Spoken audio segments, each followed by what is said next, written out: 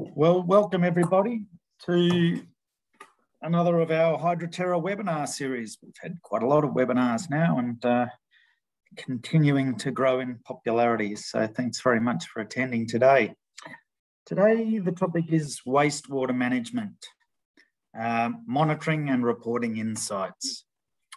And we're very fortunate to have Matt Shanahan, who's a principal with RMCG, who are a consultancy that do a huge amount of work in this area and who we've uh, collaborated with extensively over the years on various projects in this area. Matt's involved quite a bit with uh, the new regulations that are coming out, and uh, he's going to refer to that as well in his presentation, as well as the impact of the new EPA Act. Um, we're also going to talk a bit about some case studies. So there's a picture of Matt.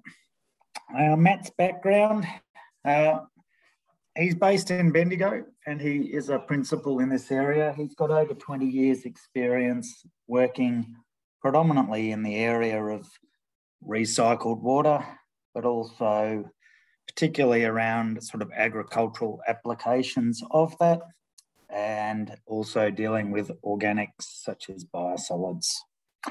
Um, as I mentioned, we work extensively together, uh, Hydroterra and ourselves, where we do the sort of field data collection and monitoring system side of things, and they do the consultancy.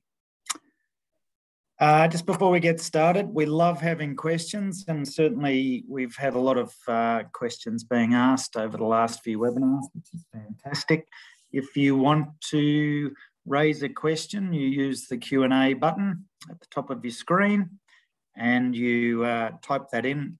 And uh, at the end of this webinar, I will read out those questions, and Matt and myself will endeavour to answer them. When we run out of time, we will uh, send you emails uh, responding to your question if we don't get time to get to it today. Um, why is Hydroterra doing these webinars? Well, we like to generate awareness and share knowledge, uh, particularly in the areas of monitoring methodologies and technologies, but also really about how they can be applied to improve operational efficiency, environmental outcomes. Uh, we see an important role of a business like Hydroterra to train the broader market in technologies that are emerging. And uh, we think it's really important that we also gain an understanding of industry needs from these, and that's where Q&A is so important. So today, you've got myself, Managing Director of Hydroterra, who's going to uh, present towards the end of this presentation and introduce Matt. Matt's going to talk, tell us a bit about what wastewater is, uh, what methods there are by which wastewater can be used, and key considerations for wastewater management. Finally, we're going to talk about monitoring and reporting obligations, and then I'm going to talk to a case study where we've worked together. So I'm going to pass control over to Matt now and let him take us forward. Thanks very much, Matt. Great. Thanks, Richard. And good afternoon, everyone. Uh, thanks for joining in on the webinar. I hope you're all well, um, particularly those of us that are in Victoria and New South Wales and have been dealing with the storm that's come through and other states as well. I hope you're all safe and surviving that okay. Uh, thanks for the intro. Uh, it's great to be here talking about uh, wastewater or recycled water. As Richard said, uh, I've spent the best deal of 20 odd years uh, in and around uh, recycled water and looking for sustainable ways to make sure we can utilize it as best as we can. Uh, and I'll share with you today some of my thoughts and looking forward to any questions that you've got. And we can pick through those towards the back end of the webinar. So I thought we might start off with just with some definitions to set the scene. Um, for those that are close to the industry, you'll know that there can be a lot of discussion about whether it's wastewater or whether it's recycled water. Uh, at the end of the day, I don't think it really matters too much, and you're free to call it whatever you like. Uh, from my point of view, I prefer recycled water as the term. Uh, and the reason for that is I think it gives a nice feel for the resource that it is and the value that we can get from it. Uh, that it is a really good water source out there that we need to make the most out of. And I like the idea that recycled water is something we're putting back into our systems and getting the most out of. Uh, that third dot point you can see on the screen there, uh, it's actually a definition that I've taken from the new EPA uh, recycled water guidelines that have been released. This is Victorian EPA that have been released in the last few months, uh, known as Publication 1910 or Publication 1910. And I think it sums up really quite neatly uh, what I'm going to be talking about today and referring to, which is water that's been derived from sewage systems or industry processes and treated to a standard that is appropriate and fit for its intended use. There's a couple of really important terms in there, I think, set the scene for our discussion this afternoon. Uh, so it picks up that we're talking about recycled water uh, from sewage systems, so municipal treatment plants and even trade waste treatment plants where they feed in. Um, but the industry is a really important part of our wastewater industry as well. So dairy processing wastewater, abattoirs, um, even some sale yards, a whole range of things. There's lots of industry out there that are producing a form of recycled water, which they then need to find a management option for. Um, so it's not just our larger municipal treatment plants that are dealing with some big volumes in our towns and cities. There's lots of other forms of recycled water out there, which is just as important uh, and that we're consistently looking for really great solutions for. Uh, the last dot point is an important one that we're not talking about on farm effluent today. So we're not talking about dairy effluent or piggery effluent, um, whilst there are lots of similarities. So when we come to managing those sources of water, we're still worried about nutrients and salts and acidity and pH and potential impacts on the environment uh, and volumetric loadings, etc. Um, but it is an important distinction that we're not dealing with farm effluent today. We are talking about uh, industrial recycled water, and then also sewage from the municipal treatment plants. Why is that important? Uh, there can be a lot of confusion at times between the on-farm effluents and the other wastewater or recycled water sources.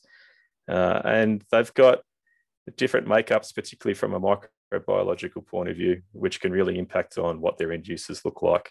Um, and whilst those similarities are there, they're better dealt with separately.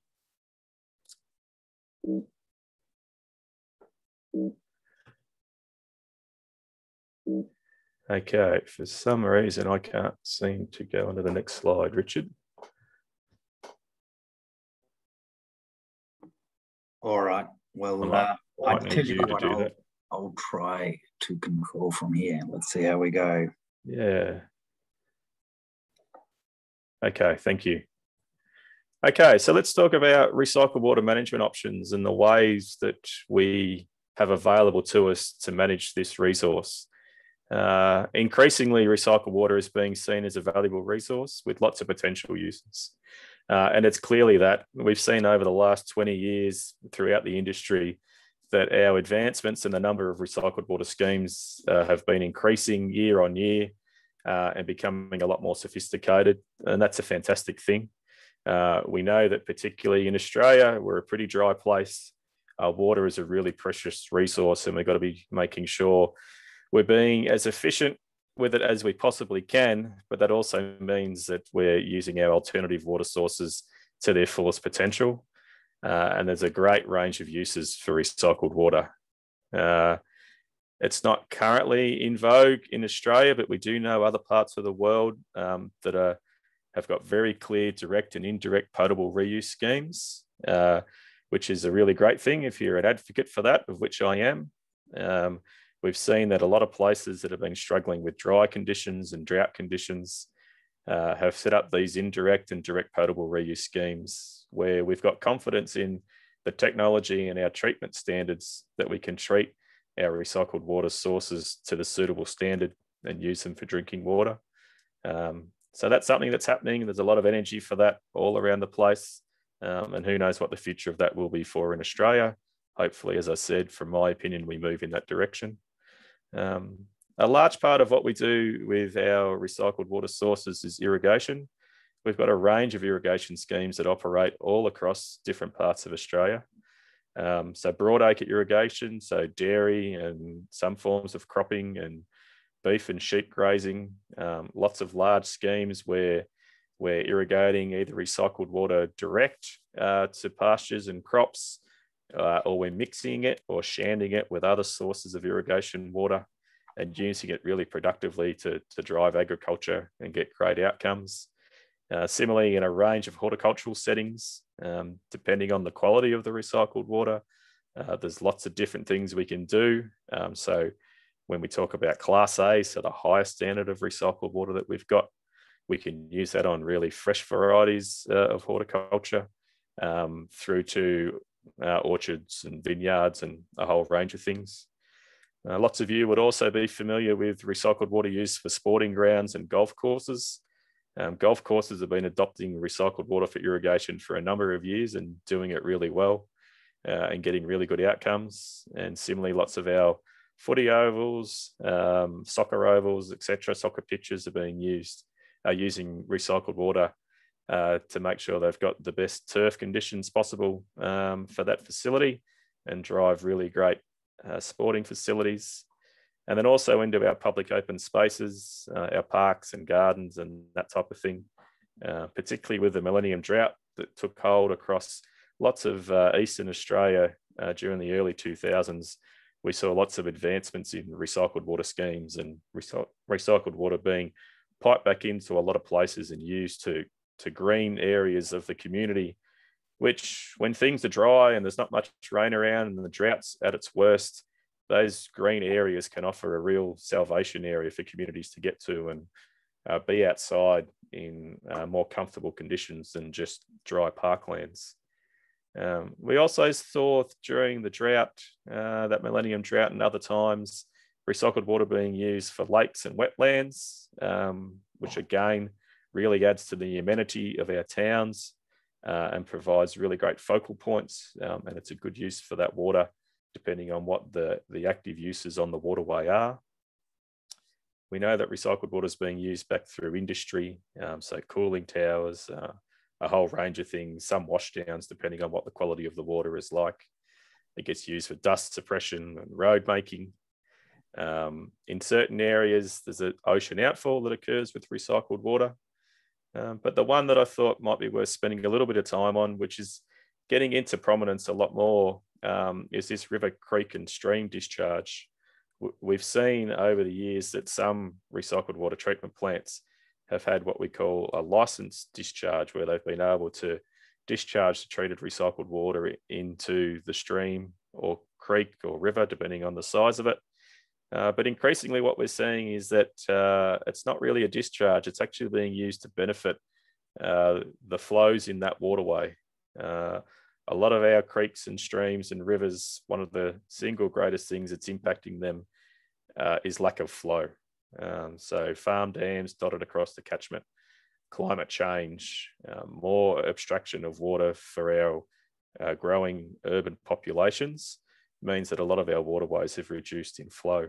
And so there's a great opportunity where we can get recycled water into the right quality uh, to be able to release it into these waterways and drive some really fantastic benefits um, by supporting the aquatic environment and driving a, a better ecosystem. Uh, so that's been happening for quite a while. There was a, a scheme that we were involved with, uh, working with Goulburn Valley Water, uh, so in central to northern Victoria, uh, putting recycled water back into the Kilmore Creek. So treated uh, sewage from the Kilmore wastewater treatment plant being treated to a really high standard and being put back into the creek at specific times throughout the year to drive environmental flows, uh, to improve uh, what that waterway was like, uh, and to get much better outcomes. One of the interesting things with that project was that uh, we worked with the local catchment management authority and the landholders to offset any of the nutrients that were going to be released to the waterway. So there was a whole lot of work done with farmers in the region uh, to increase riparian vegetation, uh, to fence stock out of the waterways, um, and to improve some other practices that were impacting on the creek. So that was effectively neutralising and providing better creek outcomes and neutralising uh, the nutrients that were being released into the waterway and therefore driving a, an overall much better environmental outcome. So I think with a drying climate, we're going to look to see uh, a lot more opportunities for that in the future, as well as those traditional uses of recycled water around irrigation and amenity lakes and some of the industrial reuse that we're seeing. Uh, next slide. Thanks, Richard. I thought it'd be worthwhile if we spend a bit of time looking at the different components of what goes into recycled water management. Um, and in the first case, when you look at this slide, it might be a bit overwhelming and daunting to see uh, the number of different uh, components that we need to think our way through. Um, but in a lot of cases, it's relatively straightforward um, and it's common sense uh, that we're dealing with. Um, and if we've got some good data to support us along the way, then we can make some really good decisions and make it work. Uh, but ultimately, we're thinking about water quality uh, how much water we're looking after, so the volume, what our receiving environment looks like, uh, and as part of that receiving environment, uh, the community where it exists and the potential impacts on health. How we're going to set up a good scheme from a monitoring and reporting point of view to make sure we know what's going on, but also from a continuous improvement point of view, that we can drive really good outcomes and make sure that we're managing the recycled water the best way that we can. Uh, our people, we can never forget our people. They're integral to us and they're integral to our really well developed recycled water management schemes. So, have our people got the right skills? What sort of training do we need to provide? Uh, and from a professional point of view, uh, hopefully, those people on the webinar, and it's certainly true for Richard and I, that we've been able to drive a really great career uh, out of this industry. Uh, and there's lots of opportunity for that into the future. So providing a really strong uh, pathway for people to get involved in the industry and have a really fulfilled work life and provide really great outcomes from an environmental management point of view and a resource management point of view. Um, the economic viability of our schemes is also critically important. Uh, they can be costly at times. Um, sometimes for irrigation schemes, we're piping the water uh, some distance to get it to the farmland or to access the amount of farmland that we need to make the scheme work. So it's really important that if we're going to spend a lot of money on capital uh, and have some considerable operating costs, uh, that the end use that we're supplying the recycled water to is economically viable and they're going to be able to use the recycled water and thrive over the next 10, 20, beyond years. Uh, and that's what that last box there is talking about the win win outcomes ultimately we want to be using recycled water uh, for its highest potential value and to make sure that everyone so that's the producer of the recycled water the end user of the recycled water and the community drive really great outcomes the water quality will really dictate what we can do um, and we generally talk about different classes of recycled water um, particularly in victoria but other states are similar uh, so Class A uh, being our highest standard, which can be used for uncontrolled public access. So if we're going into a park uh, where the you know, community have got access to that park all the time, that's a Class A standard. Um, also to some of those fresh varieties of uh, fruit and vegetables. Um, there's some where it's still not appropriate, but lots where it is. Uh, the second class is Class B, uh, where it can be used for sporting sites, predominantly. Um, it also has some advantages for dairy uh, farms, particularly where we've got lactating animals. Uh, and then Class C is our last class of recycled water. Up until recently, uh, Class D was the other source of recycled water we had available to us, um, but it's now just classes A, B, and C in Victoria with the release of the new guidelines, publications 1910 and 1911, uh, which have been uh, with us for a couple of months. Um, so the class of the recycled water is really driven by the microbiological quality Uh, we use E. coli uh, as the reference organism there, but also look at viruses and protozoas by the time we're getting to looking at class A recycled water. Uh, so that class can dictate how the recycled water can be used, but I can't stress the importance of also understanding the other parameters of your recycled water. So what's the salinity going to be like? What are the nutrients like? Uh, are there any toxicants in terms of heavy metals, emerging contaminants, pH, etc., etc.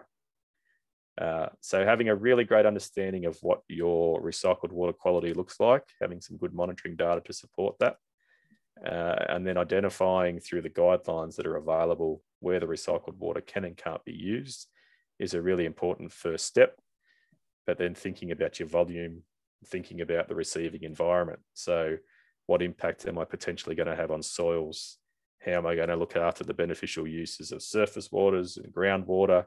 Or the marine environment, uh, making sure I'm not impacting on flora and fauna or cultural heritage, so our Indigenous heritage, but also some parts of European heritage as well. But certainly, cultural heritage is an enormous part of the planning that goes into recycled water schemes these days. And that's been a really great uh, increase in focus over uh, the last years.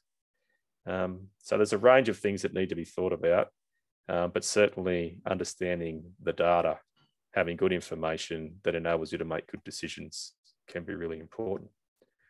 Me roll to the next slide, Richard. Uh, there's a few things that I've learned over the last 20 years of recycled water management, um, which I want to impress on you now. Um, we don't have long enough today to talk in enough detail about all the components, but I think uh, if you take these practices on board, uh, you're going to maximize the possibility of having a really fantastic recycled water scheme. The first one is that successful schemes aren't set and forget. And what I mean by that is that they take ongoing work and they take consistent resourcing to make them work. Uh, a key part of that is communication, really strong communication between whoever's producing the recycled water and your end user. Uh, sometimes it's the same organization. Uh, sometimes the end user could be a third party. But having really great communication, which talks about the quality of water that's consistently being developed, how much water is available, what it's being used for, is it being used in accordance with the management plan? Uh, it's an ongoing job. And sometimes what we see is where schemes start to fall over uh, is because the resourcing just simply isn't there to make it work. Uh, and it's an old adage uh, little things done consistently over a long period of time um, can make things work a whole lot better rather than putting something in place, forgetting about it, and coming back a lot later down the track, only to realize there's a whole lot of problems that have occurred. Uh, the second one is there's no substitute for good data. I can't express this highly enough either. Know your recycled water inside out. We were touching on it on the previous slide understand your microbiological quality, understand the salinity, understand the nutrients, understand the impact it might have in your receiving environment and how you're going to manage it and the mitigation practice you've got available to you. Uh, but you need to be undertaking monitoring of recycled water quality, I would say monthly uh, throughout the year, particularly during the irrigation season, if it's an irrigation system that you've got set up. But looking for those changes over time, is it consistent? Is it fluctuating? Understanding the reasons why it may be fluctuating and the impact it's going to have. Uh, that's really critical. Uh, planning for your scheme is really important, uh, but planning for the wet year, I think, is the most important thing that you can do. Uh, in dry years, particularly for operating irrigation schemes, dry years can be annoying because we can run out of recycled water during the season. Uh, and if you're supplying recycled water to a commercial farmer, for example, under contract, and they run out of water partway through the irrigation season, they're not going to be too impressed. But from a compliance point of view, uh, if you've emptied your lagoon prior to the winter storage period, then you're going to be in a much better situation. But the wet years is where we really start to test the, the friendship and where uh, our struggles can come along. So you need to have a really good plan that can clearly show how you're going to manage your recycled water when we've got uh, bigger volumes that we're trying to manage. Recycled water is often described as a really sustainable, stable source of water. And whilst that's true, it does fluctuate quite considerably uh, with the environment and with the climate, the same way a lot of our water sources do. So during a drought, we're going to have a lot less when we wish we had more. And during the wet years, we're going to have heaps of it to manage when we wish we didn't have it. But it is those wet years that you need to have a plan for. Uh, so often we do that through water balance modeling, uh, which we'll touch on in a bit more detail in a minute, but we make sure that we've got enough infrastructure. So enough storage and enough end use to manage how much water we're going to generate in a wet year. Uh, it's a really critical part of uh, putting together a good scheme and making sure you're planned for all sorts of conditions that could come towards you. Uh, reconcile your data. Again, um, we see a lot of systems where data is being collected and it's being recorded in a spreadsheet or put into a spreadsheet and not a great deal of thought is being given to what that information means. Uh, so one, I would go back and make sure that the data makes sense. So are the results I'm getting, do they pass the gut test? Or is there something in there that gives me an inkling that either the data might not be recorded well, maybe there's a flow meter that's out, maybe we've got a leak somewhere, um, maybe we're recording from a different area where we thought we shouldn't have been or we should have been.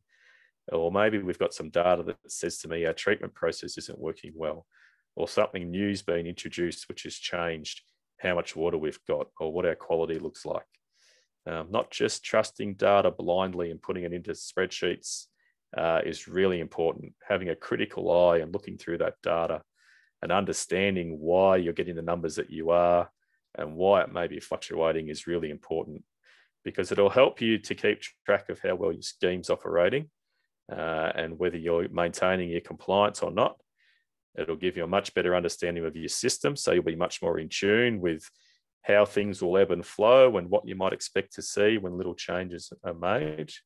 Um, it'll just keep you in good contact with everything that's going on.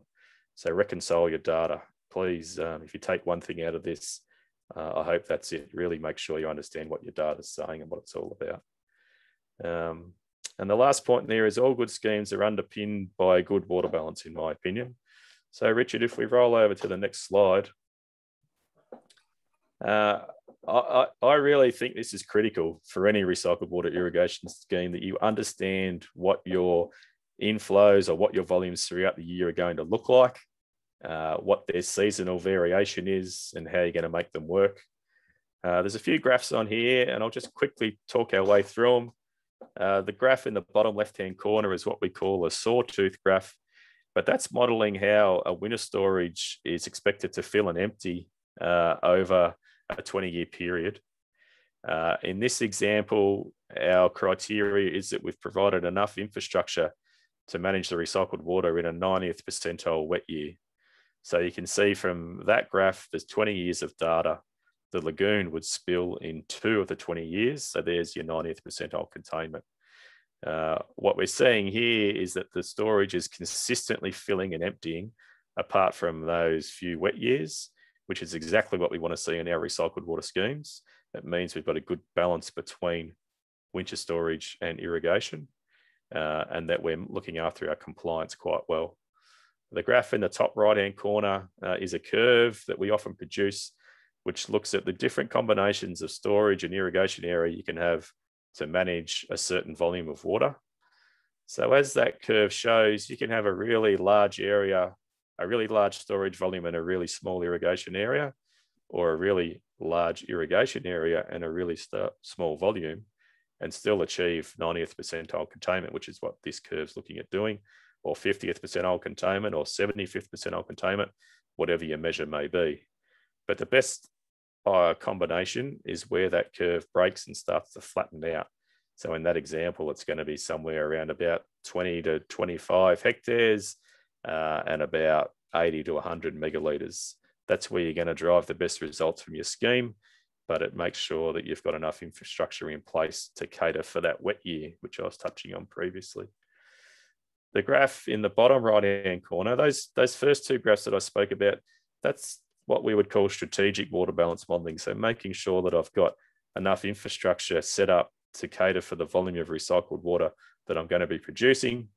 The graph in the bottom right-hand corner is what we'd call an operational winter uh, water balance, where it's looking at how much recycled water we've got in storage uh, throughout the season, and then what might happen under various climatic conditions. So the blue line, which is giving uh, the highest values, uh, that's what would happen in a wet year, so greater than, greater than a 90th percentile wet year. Uh, the second line is an average year through to a dry year, etc., etc. That's a great way of predicting what shape you're in. Uh, is my storage going to overflow? Uh, am I going to have to try and increase how much reuse I've got and what I can do with my water? Again, a really good thing to have throughout the year. Next one. Thanks, Richard.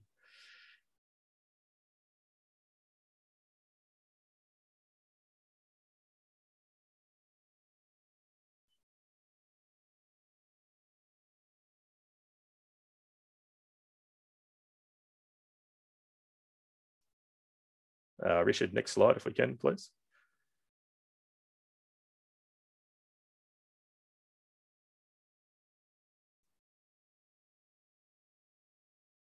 Sorry, guys, Richard probably drop off. We are going to share the screen again. Sorry, Matt, and you can uh, continue. No worries. Thank you. I've got it here if you'd like me to share it, but I'll let you. Yep, just a moment.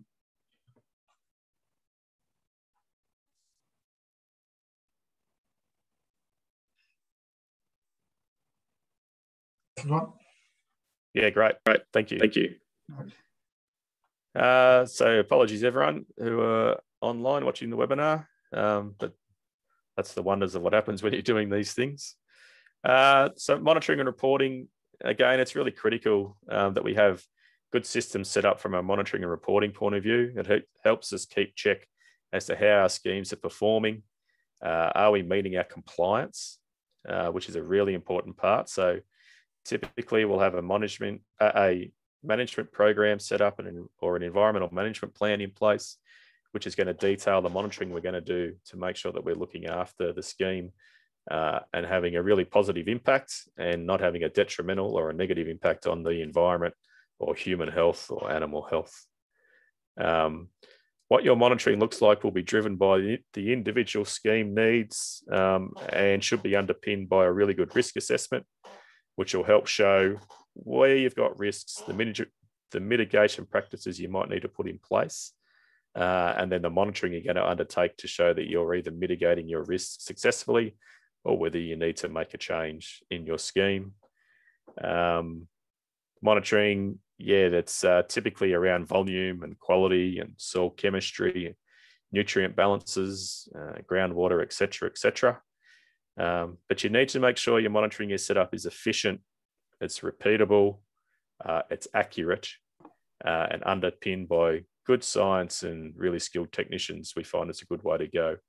If you're undertaking the monitoring in house, yeah, please make sure that you've got people who have got uh, a good understanding of the monitoring they're undertaking, the science that sits behind it, and what they need to do to drive really good results. Because the monitoring data that we collect is critically important to our schemes. It's it's the one thing that we've got that the schemes get judged by, and it's the the single piece of information or the single pieces of information that we can use uh, to improve the schemes and what they're like. Uh, next slide, please.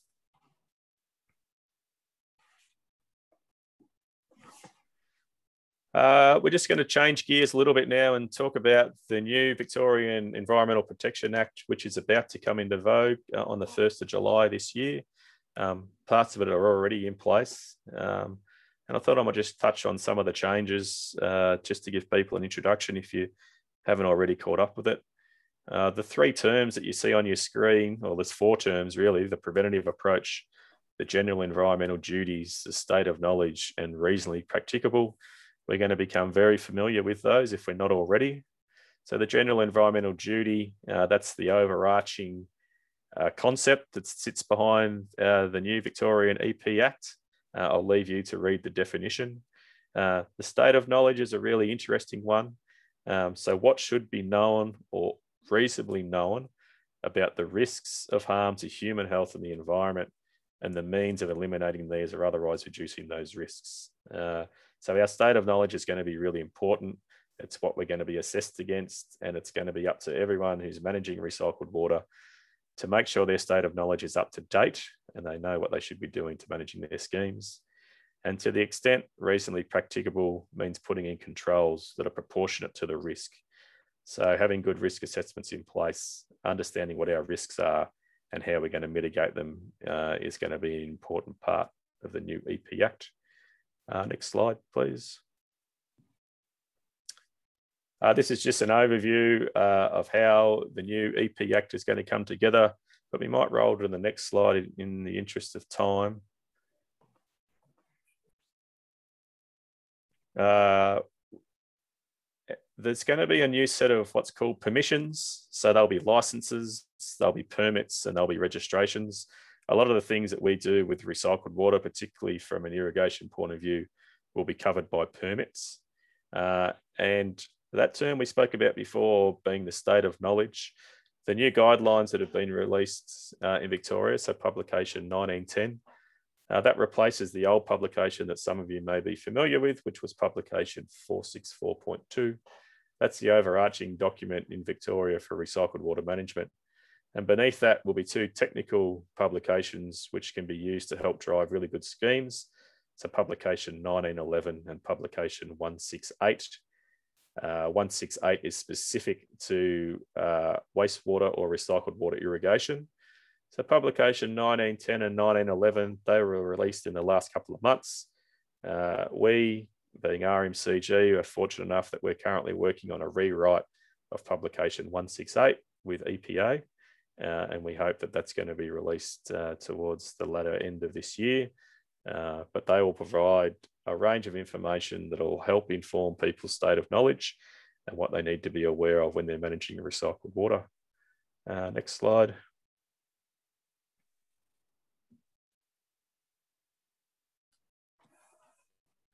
Uh, this last slide really just shows again how they all come together. Um, but there is a very formal link to the Australian Guidelines for Water Recycling.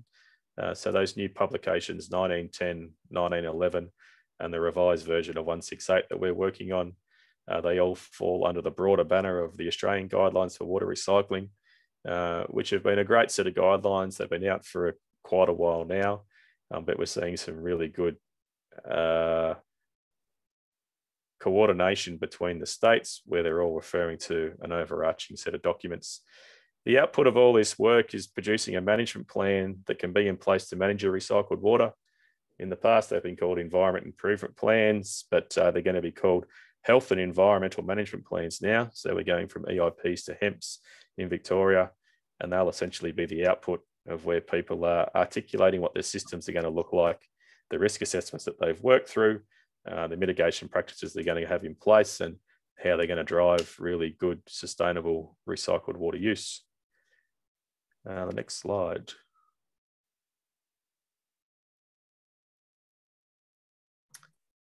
Uh, if Richard's on the line, I'm going to hand over to you, Richard, to pick up this case study. Okay, can you hear me? Yes, we can. That's good news. Sorry, my Zoom uh, cut out earlier, everybody. Um, so look, I just thought we'd share one case study in particular. A bit of an emphasis I wanted to put on this was raising awareness on what can be done automatically and uh, certainly in the context of what Matt was saying about state of knowledge, um, there's quite a lot of technology that's emerging or established that can be used to uh, better manage wastewater or certainly optimize it so what was this project about? You'll see on the right-hand side there, there's a large lagoon. That lagoon was coming from a milk powder factory. When you create milk powder, you take a lot of uh, fluid out of it, obviously, out of the milk, and that comes in as a, and, and forms an effluent, which is monitored. It's monitored as part of the process and at the discharge points to these ponds. It's also monitored in real time in those ponds. Now, typically that sort of monitoring happens as part of the production facilities. So the data often is in the format of a SCADA system, which is linked to various control devices and that sort of thing. So often that data is not readily available to people managing the environment, certainly either for, from a compliance point of view or uh, for managing it in terms of optimizing it. So often one of the first challenges is just to get all the information and data that you need into one place so you can start doing those comparisons of data and look at how you can use that data to optimize application. Obviously, if you're going to use that for something like optimizing irrigation, you need that data in a really timely way. And so typically you need to set it up on a telemetry type arrangement. So that water that I've pointed out in that lagoon needs to find a home. And, uh, you know, these factories keep running all year round, regardless of what the environment's really doing. So you need to be getting rid of that water in a timely way to meet those requirements that Matt referred to in terms of not having too much water in a pond.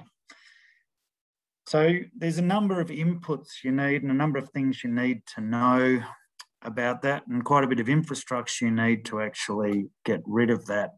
So the picture on the left shows how this particular facility managed those aspects. So that sketch of the looks like slices of a pie is actually a, uh, a pivot irrigator's um, sort of settings for how it it, it irrigates and it it uh, it rotates around and it's applying water out onto in this case pasture which was used for grazing um, that pasture uh, and and the amount that you get off was monitored so they actually know the yield that's coming off there and they're trying to balance optimizing that pasture growth with their environmental compliance obligations.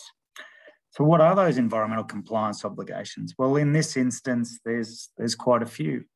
So there's a relatively shallow water table. So part of their EIP or uh, soon to be changed name uh, plan um, is about protecting groundwater quality. So you need to be thinking about not only the quality of the water you're putting on, but the amount and trying to get a balance there between the transpiration rate of the grass or the pastures versus the infiltration capacity of your soil and the application rate of your irrigation system.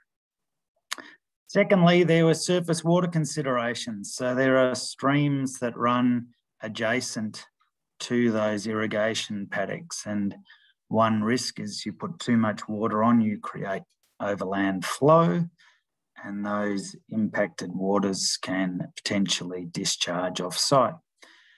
Now, obviously, that varies completely with antecedent moisture conditions. So, if the paddock's already pretty wet, then you need to throttle back your application rate or maybe in some circumstances turn it off altogether because uh, otherwise you're creating a surface runoff and potentially exceeding your compliance requirements. So these sorts of projects, they really do need a collaborative approach between the farmer who's looking after the pasture, your consultant who's looking after environmental compliance, and the site operator of the facility who's producing the effluent and managing and controlling that. So on this particular project, how to balance all these things? Well, we had to set up a, uh, a set of systems to ingest data in a timely way. And as Matt mentioned, you know, uh, often the data is in spreadsheets and things, so it does involve changing processes for data collection. Um, it involved customizing how to view that data. So we had data inputs coming from the irrigation setup. We had data inputs coming from the environmental compliance monitoring. So things like depth to groundwater and any water quality monitoring results from there. And we needed the time series data coming from the SCADA system that was uh, being used in the operating facility. So all that data needed to come together. But most importantly, how to, how to automate a water balance, right? Um, heard the importance of water balance. Well, in particular, how to automate the unsaturated zone of your pasture paddocks, right? Because that's really what's driving compliance here. If you can balance your application rates with your soil moisture content and prevent offsite either discharge to groundwater or surface water runoff, that's the definition of success. And to do that, you need real-time data on your soil moisture. And uh, in this particular site, we used capacitance probes that measured soil moisture at 10 centimetre increments down below the soil. And they had a controller, an automated controller, which changed the irrigation rates that came from the pivot irrigators. So a fair bit of automation there.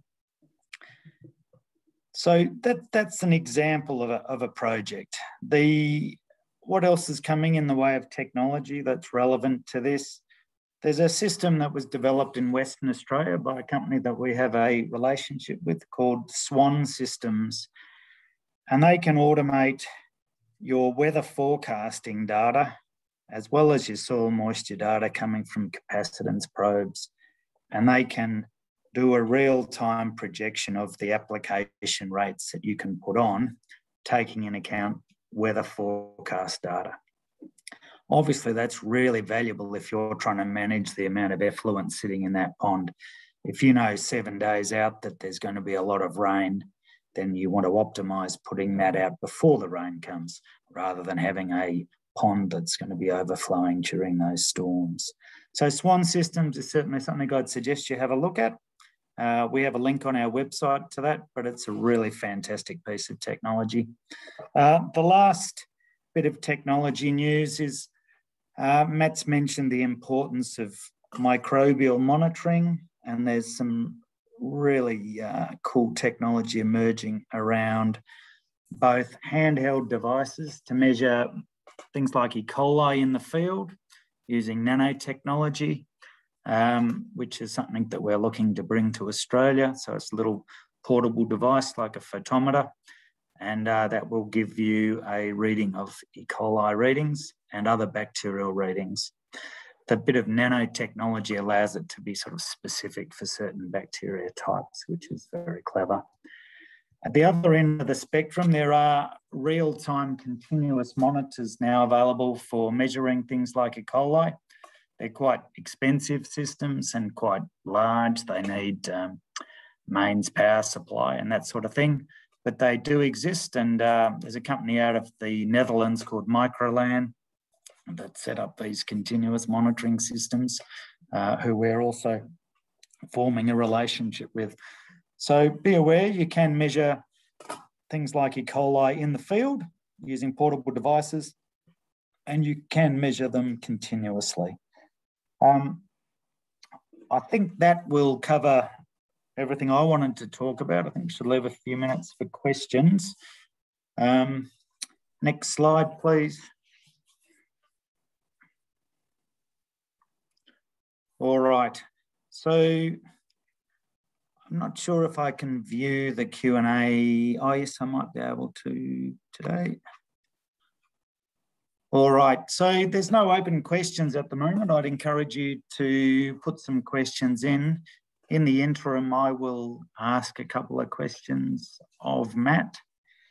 Um, so Matt, firstly, I suppose, you know, we are in a pandemic and we have uh, issues with viruses and that sort of thing in our wastewater streams. You hear about them monitoring that. But how effective are our treatment systems at um, treating those sorts of viruses before, you know, for example, we put them out on horticultural crops? You've got a position on that? Uh, absolutely. I think there's been a lot of work done, Richard, to to make sure that we we specify the treatment processes that are need needed for the different types of end uses. So if we're going to uh, a fresh crop, um, which is going to, you know, not undergo uh, any processing or cooking or anything like that, then we need to make sure the quality of water is suitable for that type of end use. And there's been loads of work done uh, over the last 20, 30, 40 years to make sure that our, our treatment standards are really top notch and they can produce the quality of water we need um, for the different types of end use. Um, and that gets tested really rigorously. There's really good controls in place, you know, critical control points and quality assurance management plans, etc., which are really quite stringent to make sure that whoever's producing that water, uh, they're doing it to the standard that's required, and then it's suitable for the end use. And those end uses are really well documented throughout all the guidance that we've got available, be it the Australian guidelines or the individual state guidelines. Um, so I think we can take a lot of confidence that our our water quality experts and our scientists who are working on that side of things have been thinking about it hard for a long time and have got really well established practices in place. Okay, well that, that gives me uh, some comfort, Matt. Glad to hear we're not pumping viruses straight out on our salad. Yeah. Um, Nigel McGuckian has a question. Is there a need for a water quality standard between A and B, particularly for use as environmental flows? Uh, yeah, so g'day, Nige. Um, for environmental flows, I think it's all about um, what the beneficial use of that waterway is um, and its environmental condition. So, uh, if we know that that waterway is going to be used for primary contact recreation, for example, for swimming, uh, we're going to have a higher treatment standard that's needed uh, versus if it's not used for swimming or drinking water or whatever it may be. Um, we don't always need Class A recycled water for environmental flows. So I think my approach would be that we use the science and our risk assessments to help drive what the answer should be, that we articulate that catchment, uh, what the beneficial uses are, how it's being used, and how we're going to go about making sure that we're looking after those beneficial uses and uh, mitigating any of the risks that we identify. Um, so, is there something specific between Class A and Class B? Um, there probably won't be. I'm not sure there needs to be. I think we can get about it through that risk assessment process. I uh, might add to that question, Matt. So, things like this um, emerging technology around continuous microbial monitoring, do you think mm. that's actually valuable in the context of working out uh, whether you can discharge that water for environmental flows and that sort of thing, or would that I, be? I think if it helps provide confidence to whoever's involved, be that the people running the scheme or the community, then that's a really good thing, Richard. So if we've got systems in place that are operating the way they should be, and we can see from the data that's being recorded that they're consistently meeting the targets that we need to mitigate any risks, then yeah, I'm all for it. I think there's um, there's an opportunity to, to do it.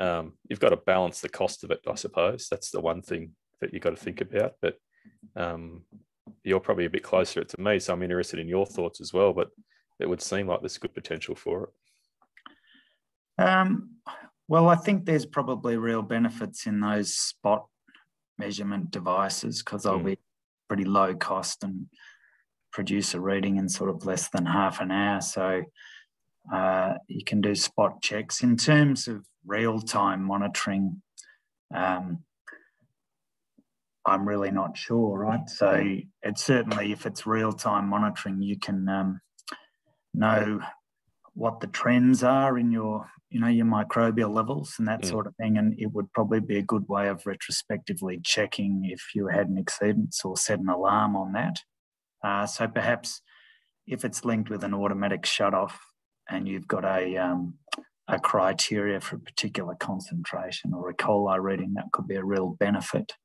Um, so yeah, it's probably benefits, but it would be interesting to map it out versus what you do.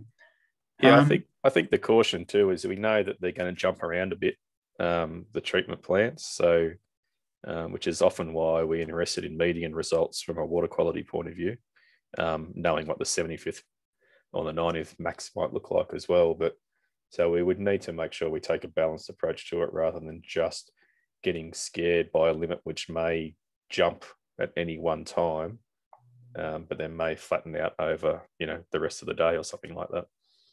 Yeah, no, that makes sense. Um, got another question here from Adam Boozer. Buzzer. Um, with respect to the case study, what's the approximate cost of that package? You know, automated weather station, soil moisture, telemetry, irrigation, decision support. Look, there's a few elements to that. It's not easy to provide you with a cost estimate straight off the bat, but I would say that the first step is we do a monitoring system design.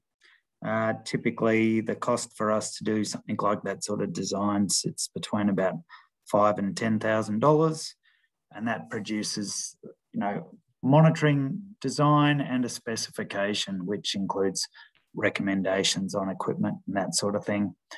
In the particular case study, there was a lot of uh, pre-existing infrastructure, for example, water quality sondes in those lagoons. They had a weather station on site. Uh, so the infrastructure that we were adding there was really the real-time soil moisture sensors. We did in, end up putting another weather station in because the weather station on site was a bit weary. Um, and then to integrate it back into DataStream is pretty low cost. If you want to add something like Swan systems to it, there's another costing structure around that, and that's typically about $6,000 per year to have that Swan systems facility on top of it.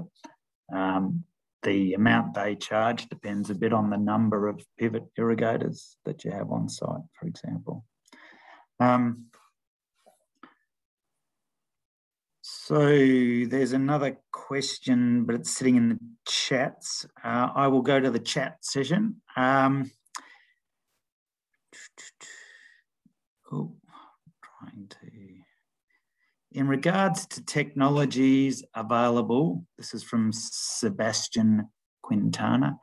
Uh, in regards to technologies available, would there be an interest in laser flow meter instruments to qualify flows on shallow water beds or where surface conditions are a bit harsh, given the ability of these devices to measure true velocity, whoops, true velocity under the surface of the water I'm new to the industry, so just a silly question. No such thing as a silly question, Sebastian. So, uh, Matt, what's your view on that one? Well, it sounds like a HydroTerra answer to me, Richard. well, it's a uh, bit of a combination, right? So, um, there's there's several ways to measure velocity. Um, one of the challenges of measuring flow velocity uh, comes down to when you're dealing with um, conditions where you have no flow at all, for example, and then you have substantial flow. So other technologies that are used for, for example, open channel flow are things like Doppler sensors, that sort of thing.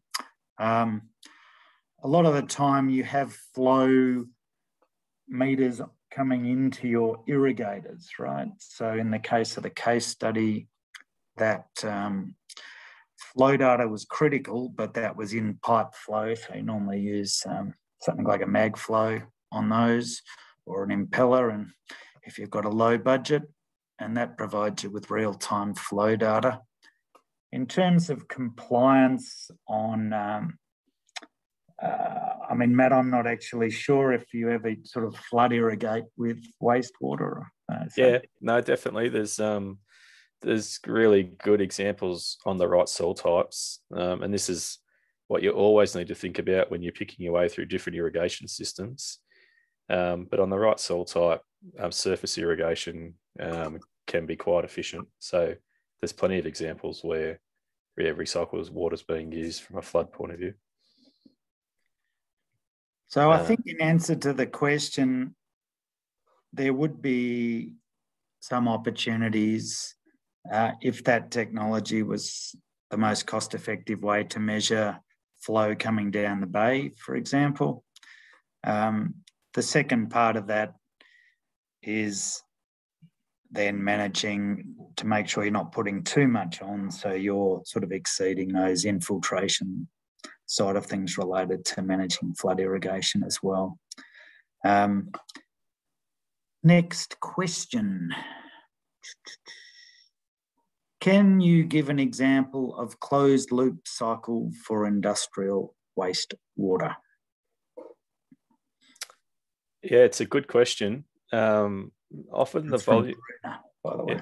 Yeah, yeah, often the volumes that are produced um, will exceed any of the internal reuse opportunities, so it it won't be completely closed loop.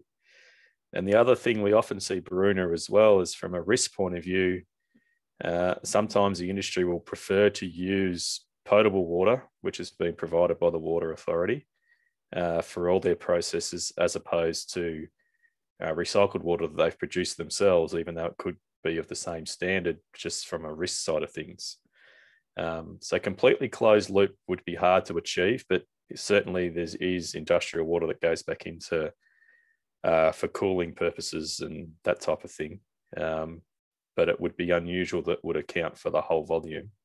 Although there are some sites that look to um, account for uh, quite a bit themselves and make sure that they're reducing what their potable water or raw water intake may be and maximising the value of their recycled water.